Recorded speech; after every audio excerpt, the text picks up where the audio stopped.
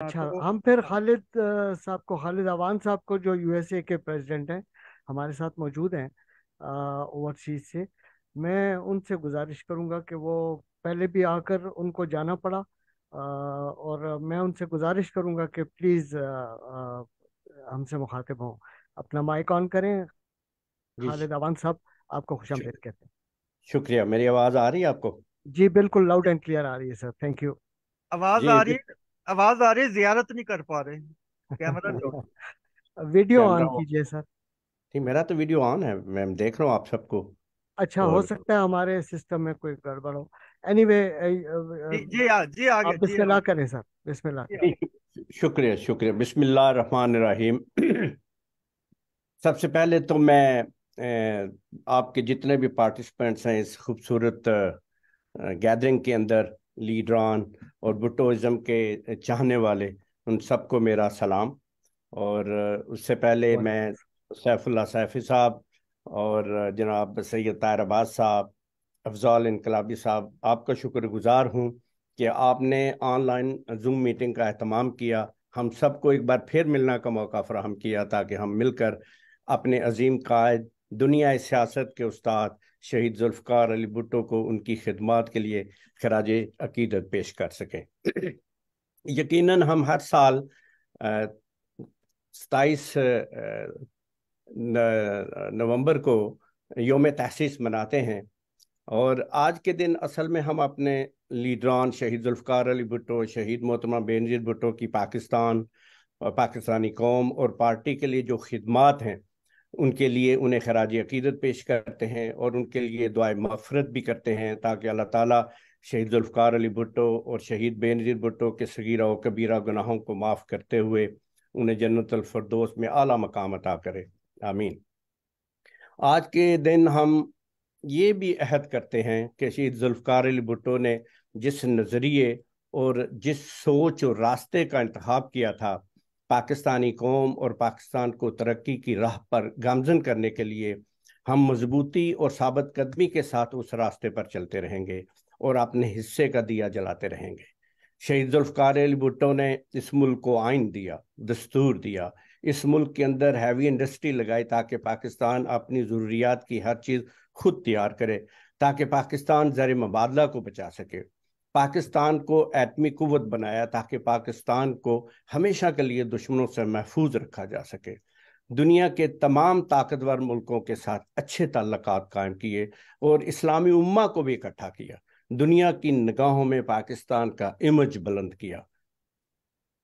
अजीज़ों का दोस्तों मुजज़ सामीन भुट्टो इज़म में कोई तो बात है कि आज पाकिस्तान का हर मर्द सियासतदान भुट्टो बनना चाहता है।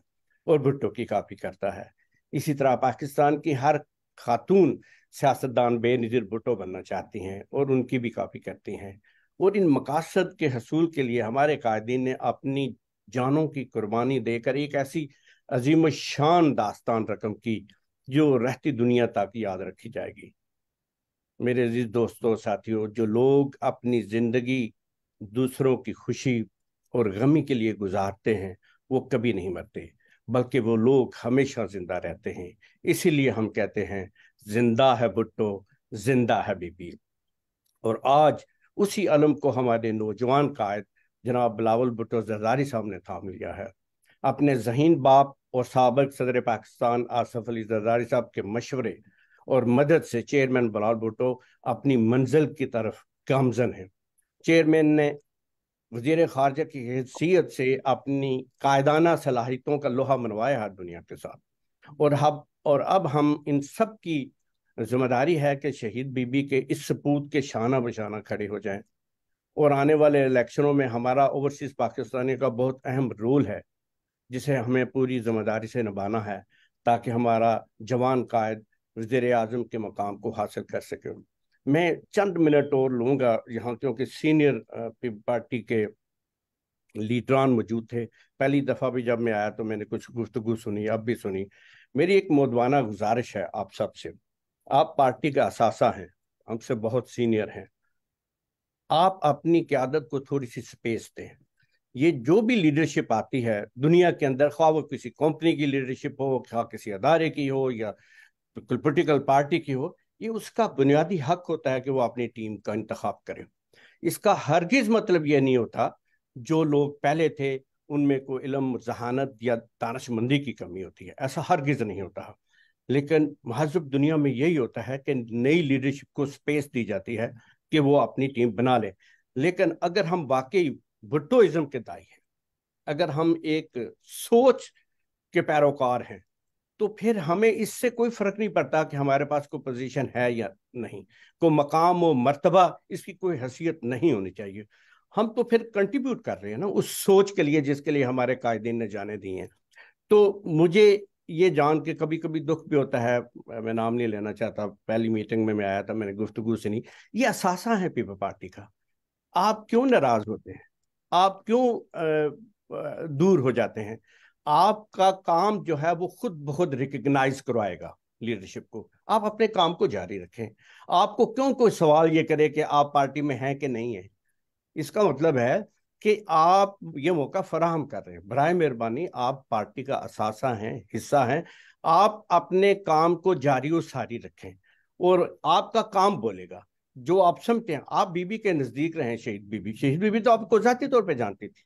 उसको पता था आपकी आप, आपकी अहलियत का आपकी सलाहियतों का। नई की आदत को नहीं पता नई की आदत को कैसे पता चलेगा? आपका काम बोलेगा। नई की आदत खुद ब खुद आपकी तरफ़ आ जाएगी। और अगर आप नाराज़ होकर घर बैठ जाएँगे तो भुट्टोइज्म को नुकसान पहुंचेगा इस सोच और इस नज़रिए को नुकसान पहुंचेगा। तो मेरी इतनी गुजारिश है जो पुराने बहुत सारे साथी यहाँ मैंने देखे उनसे कि आप अपने काम को न रोकें।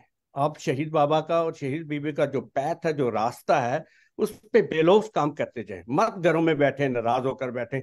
नहीं की आदत को करने दे जो वो करते हैं। और मेरा ईमान है, और फिर ऊपर भी अल्लाह ताला की एक ताकत है जो देख रही होती है, वो खुद ब खुद आपकी रिकग्निशन करा देगी और इसी के साथ मैं इजाज़त चाहूँगा कि बहुत सारे पार्टिसिपेंट हैं आपके साथ। ज़्यादा काम नहीं लेना चाहता। Thank you very much once again कि आपने मुझे मौका दिया कि मैं आपसे मुखातिब हो सकूँ। शुक्रिया। जी बहुत शुक्रिया फादर आप बहुत अपनी मसरूफियत में से वक्त निकाल के दो मरतबा तशरीफ़ लाए। तो इनशाला आपके साथ सिलसिला चलेगा। क्योंकि आप भी बहुत जुनून के साथ काम कर रहे हैं अमेरिका में तो हम उसको भी अप्रिशिएट करते हैं और आज की आपकी पार्टिसिपेशन को भी। तो वाकई खालिद अवान साहब ने बड़ा एहसान किया और हमारा मान रखा और तशरीफ़ लाए। इंतहाई ममनून है आप सब तमाम दोस्तों के आपकी पार्टी के साथ मोहब्बत कमिटमेंट हम ये साबित करना चाहते थे कि हम कहाँ खड़े हैं।